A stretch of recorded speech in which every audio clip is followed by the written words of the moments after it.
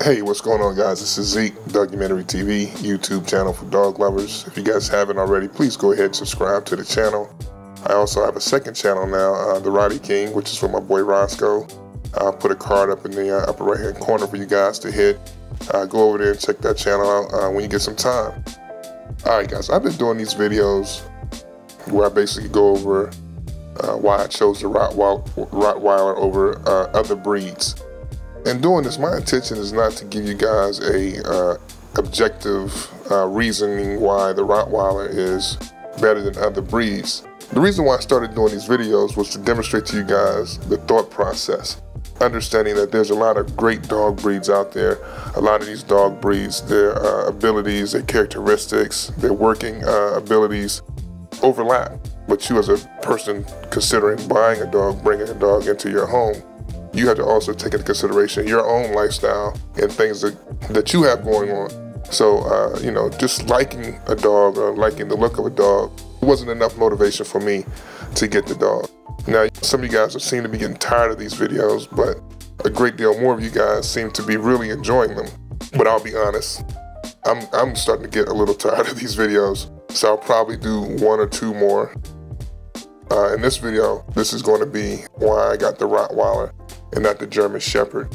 So as I do in all of these videos, let me first explain to you guys what it is that I was looking for in my next dog. A great family dog, a dog that was relatively, a dog breed that was relatively healthy, a great home protector, a dog that would be kid friendly as well as dog friendly. For me, I think, you know, the German Shepherd uh, is a dog that can definitely suit every, every requirement that I had. Now, the German Shepherd for me never really into my thought process. I know these dogs are great dogs they make great family companions, but they just weren't for me.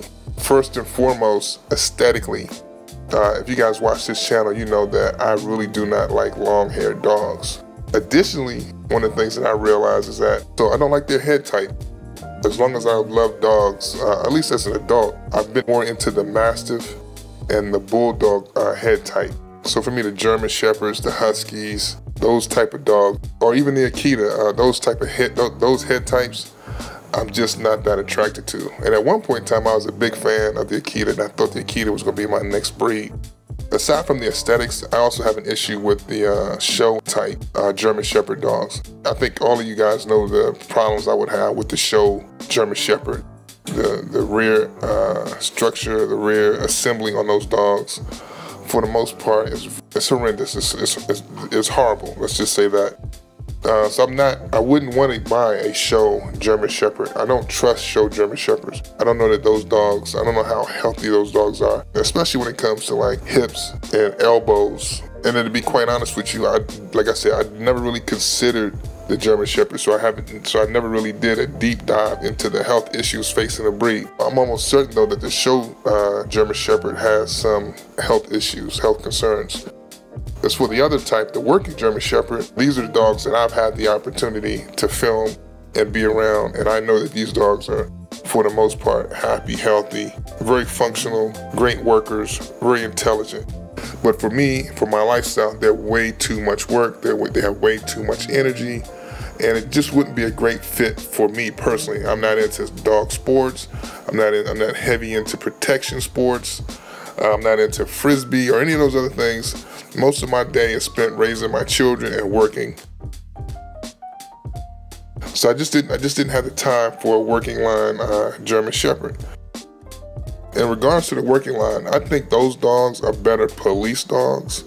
I think those dogs are they're better at search and rescue or better sent off because they're so intelligent they can go off and solve problems. I don't think they are the natural home protector that the Rottweiler is. I mean, honestly, can a German Shepherd guard your home? Absolutely. But I don't think they have the natural instincts, the genetics that the Rottweiler has when it comes to performing the job of being a home protector, Rottweilers are mastiff breeds. They're a little bit more sedentary. They're typically going to be around you.